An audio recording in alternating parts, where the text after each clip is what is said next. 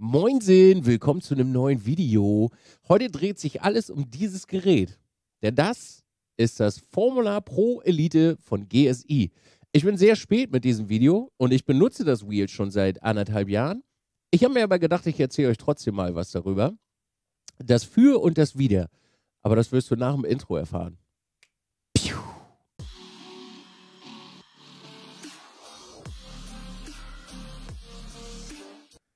Schauen wir uns das Gerät doch erstmal im Detail an. So, wenn wir uns das jetzt hier mal im Detail angucken, sieht das schon nach einem guten Brecher aus. Und es sieht auch schon gut benutzt aus nach anderthalb Jahren, muss ich sagen, wenn ich mir das hier gerade so ansehe.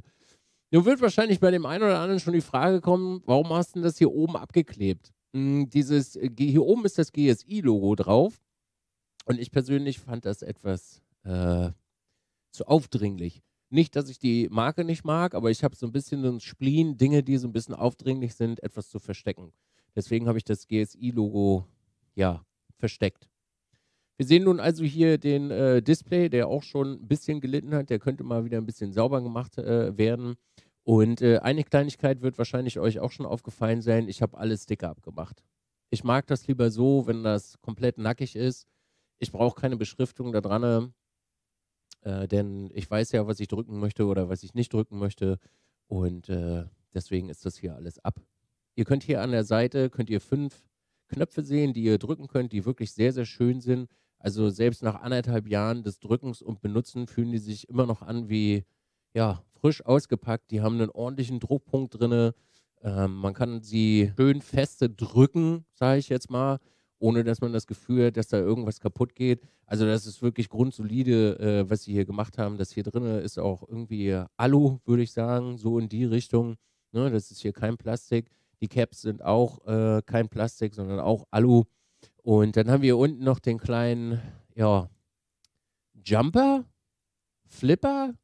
Ich habe keine Ahnung, den Joystick. Nennen wir ihn den Joystick. Wir haben hier den Joystick drin äh, der ist auch sehr gut. Das Einzige, was ich nicht so schön finde, ist die Drehbewegung, denn die Drehbewegung ist zu fein. Das heißt, wenn man jetzt beispielsweise mal Reifendrücke einstellen möchte mit dem äh, Drehregler, dann springt das immer über und das ist etwas lästig. Also ich hoffe, dass sie in den kommenden Versionen oder in den neuen Lenkrädern das hier ein bisschen besser gemacht haben. Der Funky Switch ist es. Ha, jetzt haben wir es. Also der Funky Switch hat in der Drehbewegung etwas zu leichtes, ja, Feedback, würde ich sagen. Die Drehencoder, die sind wirklich unglaublich toll. Die benutze ich auch. Die sind mittlerweile bei mir alle belegt und ich habe auf allen was drauf. Und was ich an den Drehencodern super toll finde, ist, dass man sie auch noch drücken kann. Also sie sind halt extra noch ein Push-Button. Ne? Bei mir zum Beispiel ist hier mein Pitstop-Menü drauf und hier unten ist dann einfach sind die Relatives drauf. Und das ist wirklich sehr, sehr toll, weil man da auch übergreifen kann. Man darf aber bitte nicht vergessen, das hier ist für große Hände gemacht. Ne? Also ja, ich sag mal, es wäre schon ganz gut, wenn du ungefähr so die Hände hast. Alles andere wird nachher ein bisschen kritisch und äh, du kommst halt auch dann super schwer an die Button ran. Ne? Aber für große Hände ist das Ding hier auf jeden Fall ein sehr gutes äh, Gerät. Ich weiß nicht, wie es mit kleinen Händen aussieht. Vielleicht gibt es da draußen ja jemanden, der das mit kleinen Händen fährt. Dann äh, lass mich doch einfach mal wissen, äh, wie das ist, mit kleinen Händen das Ding zu fahren. Wenn wir jetzt auf die Rückseite gehen, also hier vorne sehen wir, ist alles schön Carbon, ordentlich verschraubt, Griffe sind gummiert, äh, die sind auch nicht ganz so hart. Man kann schon sehen, man kann den Griff auch noch eindrücken. Ne? Also hier ist wirklich guter, guter Grip dran. Und das hält jetzt auch seit anderthalb Jahren wirklich tippitoppi. Wenn wir auf die Rückseite gehen, bei mir sieht man jetzt hier, ich habe meinen äh, Adapter dran für meine Simo Cube und dann wird dem einen oder anderen sofort ins Auge springen, dass hier dran noch was ist. Und mir waren die Shifter zu laut. Also wenn wir das jetzt hier mal abbauen, im Gegensatz zu dem, ne? also man hört fast gar nichts. Wir machen das jetzt hier nochmal an der Nahaufnahme im Ton. Also das ist ohne und das ist mit. Und das macht für mich einen großen Unterschied, weil ich persönlich nicht so ein großer Fan von äh, lauten Shiftern bin. Und ich habe mir jetzt einfach hier, ja, das ist Klettband, was man so rumbinden kann. Ne? Also was normalerweise als Kabelbinder fungiert, das habe ich mir in die richtige Größe gemacht und habe das dann hier äh, zwischengeschoben, damit der das immer ein bisschen äh, abdämpft. Und das funktionierte für mich äh, einwandfrei. Und da gab es auch gar nichts weiter großartig zu sagen. Außer, und das ist auch noch so eine Kleinigkeit, die ich äh, anmerken möchte, dem einen oder anderen wird wahrscheinlich auffallen, dass hier ein bisschen Schmiere zwischen ist. Bei mir war es leider so, dass beide Shifter gequietscht haben. Also hier dran, also hier zwischen hat das Metall gerieben an der Stelle. Also sowohl hier als auch da. Und ich habe das jetzt einfach mit ein bisschen Lithium-Grease, äh, weil ich noch rumliegen hatte, hatte ich das ein bisschen eingeschmiert und seitdem geht es eigentlich wunderbar. Und ich habe dazu auch gar nichts weiter zu sagen, weil es funktioniert wirklich tadellos und ich habe damit wahrscheinlich schon bestimmt eine Million Mal geschiftet mit den Shiftern und sie funktionieren einwandfrei. Also ich hatte mit dem Lenkrad seitdem her nicht ein einziges Problem. Gar nichts. Und das war es zur Nahansicht. Gucken wir uns den Brummer doch mal beim Fahren an, würde ich sagen, oder? Schmeißen wir uns mal rein. Los geht's. Rein ins Auto mal eine gemütliche Runde drehen mit, naja, Schlappen. Heute unterwegs im Lamborghini. Ohne Handschuhe, ohne alles. Einfach nur mal für euch. Falls ihr euch fragt, was für ein Dash das hier ist, äh, das ist ein Lovely Dash, heißt das Ganze. Äh, Dan Suzuki hatte dazu ein Video gemacht, könnt ihr euch gerne äh, dort mal angucken, falls euch das interessiert. Ja, weil standardmäßig gibt es da nämlich ein anderes zu von äh, GSI, die sind auch sehr schön, aber ich mag das hier lieber. Aber drehen wir mal eine Runde. Wir fahren Standard-Setup Lamborghini. Oh, ich muss erstmal an meine Bremse. Und dann fahren wir hier mal ein Ründchen rum. Ganz entspannt. Auf Misano sind wir unterwegs. Aber wie ihr schon sehen könnt, ist es doch äh, für meine Verhältnisse auch. Ich habe sehr große Hände, sehr groß in der Hand. Aber es tut sein Übriges, ne? Dass ich ähm,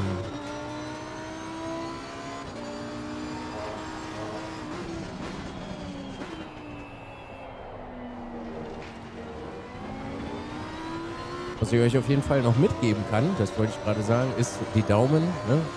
Nicht ganz rein, das ist äh, unschön. Am besten ein bisschen auflegen.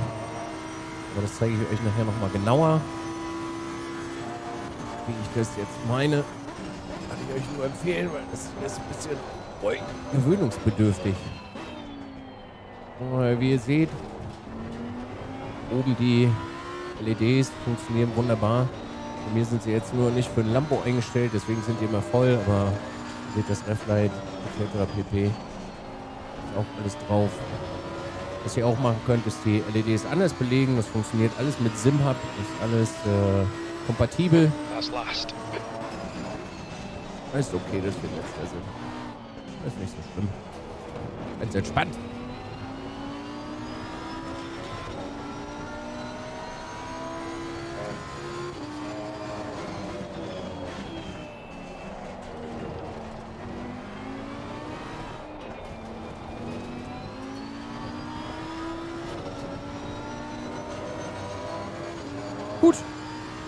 Was soll man jetzt noch, äh, was soll man jetzt noch großartig sagen? Ich wollte euch das einfach nur noch mal im Einsatz zeigen, wie es denn aussieht, wenn man damit fährt. Was es für einen Eindruck macht. Also einfach nur mal einen kleinen Einblick über die Schulter sozusagen. Und dann gebe ich wieder zurück an den Tisch. Was kann man denn jetzt zu diesem Wheel sagen? Ich persönlich bin mittlerweile ein sehr großer Fan. Ich habe beim Auspacken, naja, ein bisschen Schwierigkeiten gehabt, mich damit anzufreunden. Denn es gab für mich äh, so ein ganz kleines Problem. Und zwar hat bei mir nicht wirklich der Display funktioniert am Anfang und ich hatte Probleme mit der Stromversorgung. Dafür kann grundsätzlich GSI erstmal nichts. Das hat super lange gedauert, äh, bis ich das rausgefunden habe, weil das war so ein bisschen versteckt, möchte ich sagen. Ich hatte Glück, dass ich Leute aus dem Chat dabei hatte, die mir dabei geholfen haben. Und ich konnte dieses äh, Problem lösen. Das hängt aber nur damit zusammen, dass es zu AMD gehört oder mit AMD betrieben wird. Und ich habe das jetzt äh, so lösen können, indem ich einfach einen aktiven USB-Hub genommen habe, wo dieses Wheel dran hängt. Das Einzige, was ich daran schade finde, ist, ich habe jetzt einen 7-Port aktiven USB-Hub der nur dieses Wheel betreibt. Weil sobald ich etwas anderes daran stecke, geht das Wheel einfach nicht mehr vernünftig. Das finde ich ein bisschen schade, da kann aber GSI nun wirklich nichts dafür. Das scheint irgendwas mit AMD äh, zu sein und deren Chips als Treibern und USB und das ganze Handling, dies, das, Ananas. Aber so habe ich es glücklicherweise hinbekommen. Das heißt, falls du irgendwann mal so ein Problem haben solltest, einen aktiven USB-Hub oder vielleicht auch eine aktive USB-Verlängerung, wo Strom dran ist, weil das Ding braucht ein bisschen mehr Strom. Was gibt es noch zu sagen dazu? Beim Greifen ins Lenkrad muss man sich ein bisschen umgewöhnen. Das war für mich auch eine große Schwierigkeit, denn äh, ich war früher, früher wohl bemerkt, so ein Fahrer, ich habe meine, meine Finger immer verbunden dahinter. Also ich habe immer so gegriffen, wie so ein, ja, wie soll ich sagen, hm, Fäustling, ja, Fahrradgriff, genau, Fahrradgriff mäßig habe ich gegriffen, aber das funktioniert mit diesem Wheel nicht wirklich sehr gut, weil die Handgelenke dann immer sehr komisch sind. Und so ist es äh, besser, bei dem Wheel beispielsweise einfach nur den Daumen hier reinzulegen. Das heißt, die Kante hier drinne sollte man, also zumindest ist meine Erfahrung, sollte man hier zwischen liegen haben und dann ist das eigentlich ganz okay. Dazu muss gesagt sein, die Griffe sind exorbitant groß. Also die haben wirklich einen richtig bulligen Do äh, Durchmesser. Das heißt, wenn du kleine Hände hast, ist das eventuell für dich mm, nicht so cool. Vielleicht ist es cool, wenn du auf große Dinge stehst in deiner Hand, aber hier an der Stelle sollte man da wirklich äh, aufpassen und gucken, ob einem das überhaupt liegt. Also nicht vergessen, die Griffe sind wirklich gigantisch groß und das Wheel ist auch gigantisch groß. Äh, genau deswegen fahre ich das übrigens, weil es wirklich sehr, sehr groß ist, äh, weil meine Schulterbreite äh, gibt es immer ein paar Probleme mit kleineren Wheels, weil ich sitze dann bei kleineren Wheels sitze ich so und ich habe immer eine angespannte Brust beim Fahren und das ist super unangenehm. Das heißt, für mich ist alles, was über 30 Zentimeter ist, angenehm fahrbar. So 29, 28 ist schon kritisch und dann alles noch kleiner, das ist super unangenehm zu fahren, weswegen ich davon ein sehr, sehr großer Fan bin. Was kann man denn jetzt so nach anderthalb Jahren sagen der Nutzung? Mittlerweile ist hier irgendwie ein kleiner Fehler drin. Ich weiß aber nicht genau, woher das kommt, ob das an mir liegt, ob das an meiner Nutzung liegt. Denn bei mir ist es so, dass mein Lenkrad mittlerweile innen drin irgendwo knackt. Also irgendwo hier drinne knackt das. Und ich habe keine Ahnung, woher das kommt. Also wirklich bei bei scharfen Kurven mit sehr viel Force Feedback hast du manchmal so ein kleines Knirschen hier drin. Das ist aber nicht so, dass ich das durch meine Kopfhörer höre, sondern ich spüre das einfach beim Fahren. Und das ist super random. Äh, das hatte ich bei meinem vorigen Lenkrad, was ich von Fanatec hatte, hatte ich das leider auch. Ähm, da gehe ich dann eher davon aus, dass das an mir liegt und meiner Nutzung. Vielleicht war auch dieser Moment hier. Oh, das ist schon wieder so. Oh, das tat weh. Oh. oh. Au! Oh, das wird richtig blau. Ausschlaggebend dafür, dass das äh, daherkommt. Äh, leider traue ich mich, das ganze Ding hier nicht auseinanderzubauen, obwohl ich das theoretisch könnte, aber ich möchte es nicht äh, kaputt machen.